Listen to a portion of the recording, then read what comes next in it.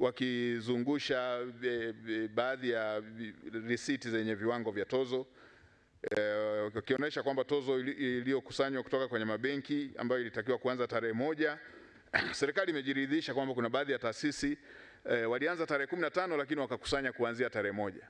Tutakutana na taasisi za kifedha. Tumeona mantiki kwenye jambo hilo, tutakutana, tutakaa kwa sababu hata taasisi ya wafanyakazi tunaendelea kukaa kwa mambo yao. Tutakutana na taasisi za kifedha. Nchi hii ni yetu, wala mtu asipate hofu kutoa maoni kwenye eneo unaloona aliko sawa, toa maoni kama kutoa kwa mbali unaona haifiki vizuri, njoo tukae kama ambavyo baadhi ya makundi tunakaa. Nchi hii ni yetu na kodi hizi ni zetu, na majukumu yaliyo mbele yetu ya kujenga nchi ni yetu sisi wenyewe, wala hatuna hatuna sababu ya kugombana kwenye hoja ambazo zina mantiki.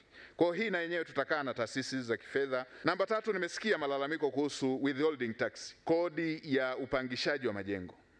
Hii siyo sheria mpya kimsingi, ni sheria ambayo ilikuwepo, isipokuwa utekelezaji wake ndo umeanza wakati huu. Nilipata maoni, watu wengine wanasema sasa mpangaji tu analipaje, analipaje kodi? Mtu mwenyewe huyu hata kodi anahangaika kulipa. Wengine wanasema kwa nini mpangaji apewe kazi ya TRA? Kwa nini apewe kazi ya serikali tena ya kuanza kukusanya na kuanza kupeleka kupeleka kodi hiyo TRA? Moja, lile la kwanza kwamba mpangaji ana, analipaje na yeye hana, hana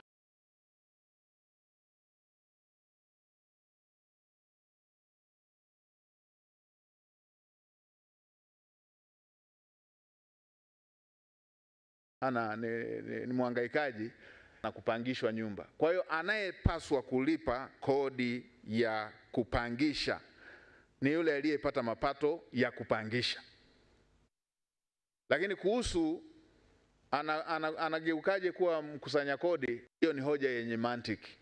Serikali tumepokea, tunaifanyia kazi na yenyewe tutaitolea tamko kwenye ku, ku, kuenda kwenye utaratibu ambao e, tumepata maoni kutoka kwa wananchi. Ni kweli eh, inaweza ikamsababishia ugomvi na e, mwenye nyumba wake. Ni kweli inaweza ikampotezea muda kuanza kupata fe, kukusanya fedha na kuanza kupeleka kwenye mamlaka ya mapato.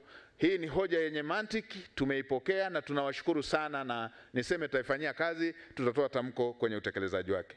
Kuhusu kuhusu yule mwenye nyumba kulipa kodi, nimesema jukumu la kulipa kodi hii ni la yule mwenye nyumba, yule aliyepangisha.